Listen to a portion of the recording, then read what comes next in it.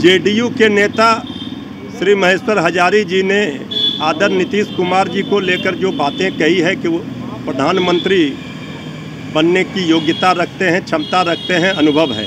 इसमें कोई बुराई नहीं है। ये तो सच्चाई है और हर पार्टी के नेता चाहते हैं कि कार्यकर्ता चाहते हैं उनके नेता प्रधानमंत्री बने, मुख्यमंत्री बने। हम लोग भी एक बिहारी होने के नाते चाहते हैं आदरणीय नीतीश कुमार जी प्रधानमंत्री बने। उनके योग्यता, क्षमता, अनुभव पर तो कोई सवाल खड़े नहीं किया जा सकता, लेकिन माननीय मुख्यमंत्री जी ने कई बार सफ़ाई दे दी है।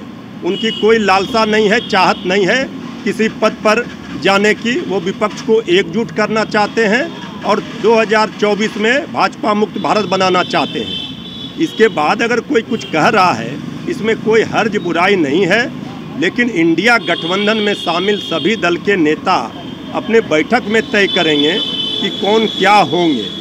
इस पर हमारी बातों का या किन्हीं और नेताओं के बातों का कोई मतलब नहीं है।